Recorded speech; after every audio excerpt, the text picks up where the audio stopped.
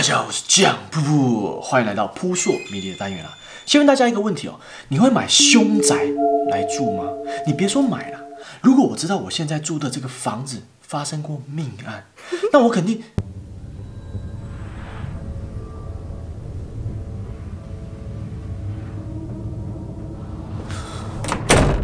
今天这一期啊，真的很需要各位小伙伴的帮助，请大家开启柯南模式，踊跃发言，扣弹幕。一同来看看这起二十多年前发生在台湾的灭门悬案。台湾省彰化有一处占地一万平米的豪宅别墅，里头有巨石、松柏造景，更有特意从南洋运来的高大椰子树。别墅的主体红瓦白墙，气派华丽。它的主人叫做洪若潭，是一位生活规律、个性低调、凡事都要追求完美无缺的大老板。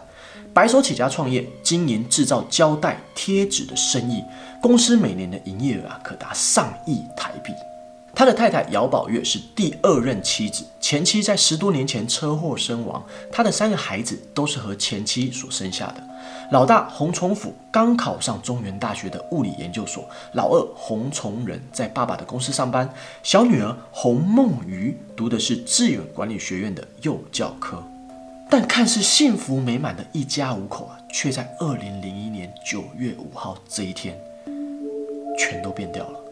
当天上午，洪若潭没有到公司去，但是公司呢有一个非常非常紧急的支票需要负责人亲自处理，所幸总经理就在洪若潭的亲戚陪同之下来到他的住所，但按了半天门铃，手机怎么打都没有任何回应，情急之下，他们只好翻墙而入，但一进到大宅院之后啊，安静的有些诡异，连平时看门的两条大狼狗也不见踪影。直到他们进了屋里，还是找不到洪若潭，但他们却在桌上发现了这封遗书，内容写着：“当你们看到这封信时，代表着我们已经带着三个孩子离开了这丑陋的世界。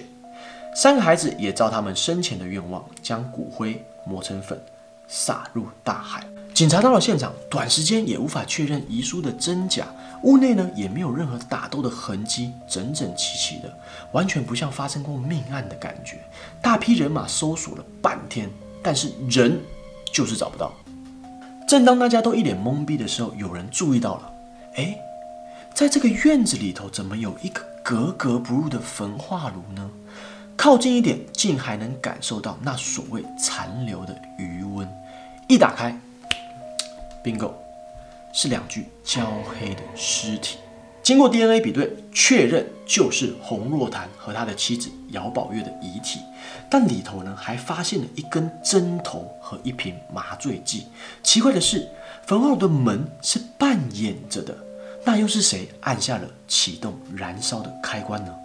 警方赶紧找来了制作焚化炉的师傅，他证实就是洪若潭在八月份的时候花费六十万台币向他定制的，并且还提出了几点要求。第一点是坚持一定要有延迟点火的功能，在按下按钮之后过几分钟才会启动，这点他答应了。但第二点就有点离谱了，洪若潭呢希望门可以从里面关闭，并且带有反锁的功能。这，你你要干嘛？除非你想把自己关在里面自焚，不然根本不会有人提出这样的要求。所以他并没有答应。警方怀疑啊，洪若潭当时是在炉门上头绑了一根铁丝，人进去之后，铁丝一拉，将门给铐上了，然后人在焚化炉里头再将铁丝绑在固定好的螺丝上。但他万万没有算到，高温燃烧之后，可能铁丝融化了，也可能是热胀冷缩的原理。导致门微微的打开，最终留下燃烧不完全的蛛丝马迹。可是他的三名子女不可能就这样消失的无影无踪吧？焚化炉里面也只采集到他们夫妻俩还有狼犬的 DNA，完全没有三名子女的 DNA。难道真的如遗书上所说的一样，已经把骨灰撒向大海了吗？就为了确认这件事，专案小组啊将红若潭的五辆轿车一一采证，但。奇怪的事发生了，车库的铁门啊，竟然自己莫名的降下来，反复反复好几次，现场没有任何人去动那个开关。还有起重机要将吉普车抬高的时候，输油管突然爆裂，也一度导致采证工作停摆。但最终啊，还是有采集到海沙的成分，而这就成为了三名子女心中的唯一连结。整起案件大致内容就是这样，我们可以看到啊，真的是疑点重重啊，诡异至极。首先呢，夫妻两人共赴黄泉，你认为是计划性自杀还是他杀呢？再来，所谓虎毒不食子，至今下落不明的洪家三兄妹，到底是生是死？如果生的话，那人跑去哪？如果死了？那你认为他们是乖乖的配合爸爸的亲生计划，还是他们是在没有意识的状态之下消失了？最后，洪若潭到底经历了什么，让他如此厌恶他口中的丑陋世界？唉，死都不怕了，还有什么事情不能解决了？对不对？请大家一定要好好珍惜自己的生命。故事的尾声呢，我一定要提一个狠人。